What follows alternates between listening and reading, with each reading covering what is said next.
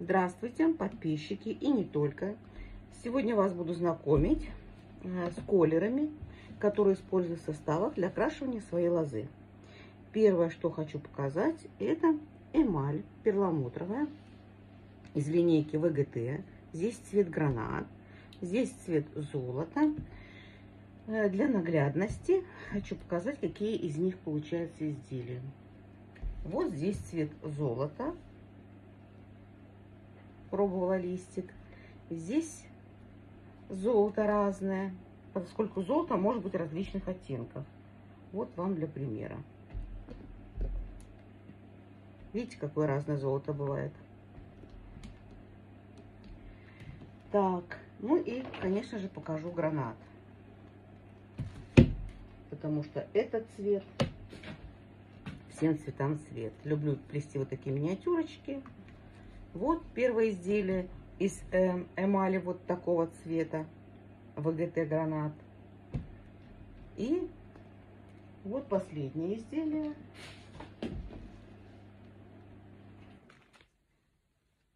Обзор будет у меня на канале.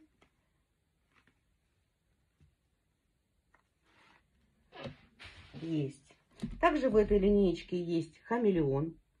Перламутр вот такой вот. Дальше бронза. Очень красивый поднос. У меня тоже есть обзор на канале. Вот такого цвета. И серебро. Это эмали ВГТ. Далее в своей работе использую, если вы видели у меня красивые красные изделия на канале, краску Текс. Пишется краска профи.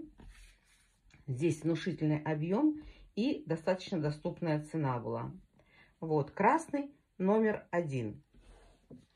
Также, поскольку я очень люблю красный цвет, в своей работе использовала колеры. Э, много красных, но те, которые проверенные, вот из э, бренда Альпина, красный. Вот сюда поставлю. И у меня продается такая колеровочная паста Старт. Она похожа на Полиш и многие другие, Сафора. Значит, вот здесь тоже номер 7 красный. Все изделия красного цвета у меня колерованы именно вот этими цветами. Дальше а, пробовала взять вот такой универсальный пигмент бронзовый, но он совсем не бронзовый, а коричневый. Поэтому вот этого производителя а, какие-нибудь невероятные цвета не советую. Не то, что они заявляют. Далее. А, в моем регионе продается очень много продукции производителя Альпина. Значит, вот по Альпине.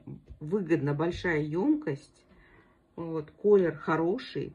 Вот одну такую уже белую емкость я использовала. Значит, э, здесь Альпина. Вот такой приятный цвет. Ну, то, что они здесь заявляют, мы будем условно его называть бежевым, си синим, э, голубым, да, и, и белым. Колер хороший.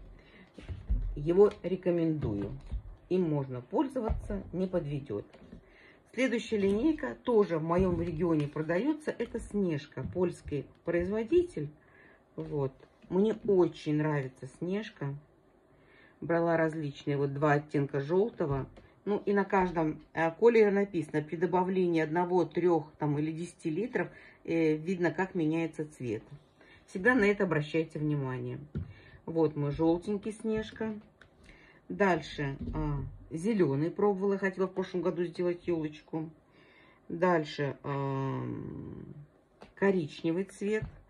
Коричневый мне не очень понравился. Сейчас покажу, у кого будет коричневый.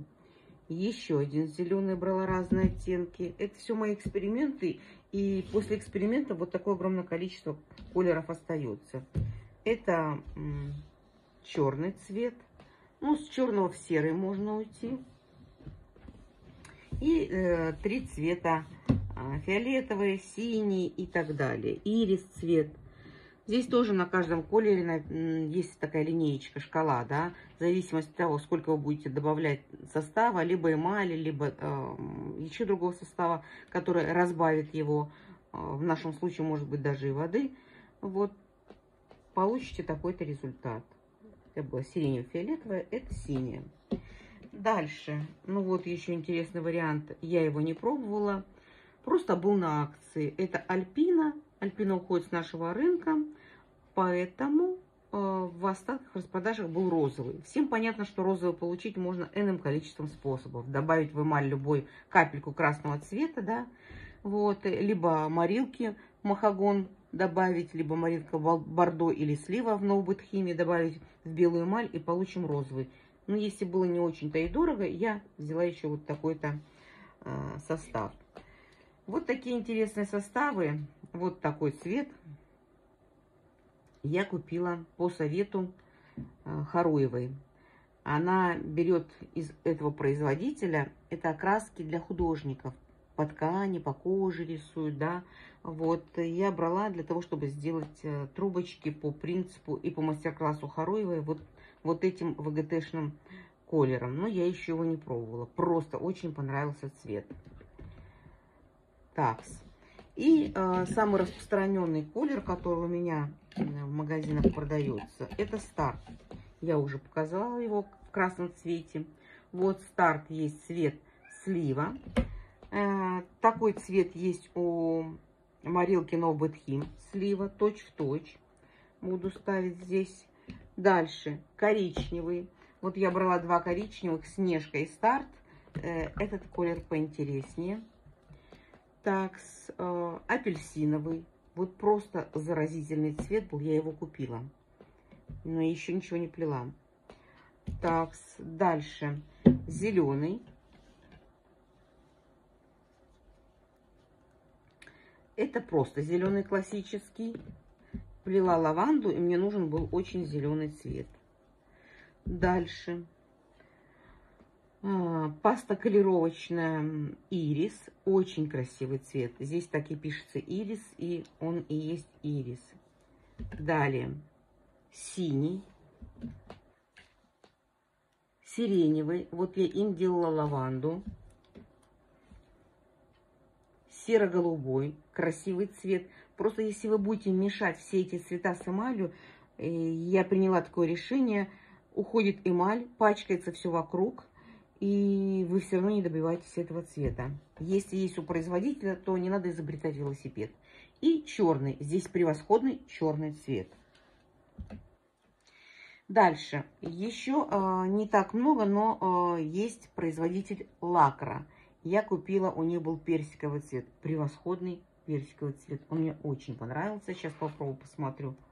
Ну, это один из вариантов персикового цвета. Это очень нежный, очень бледный.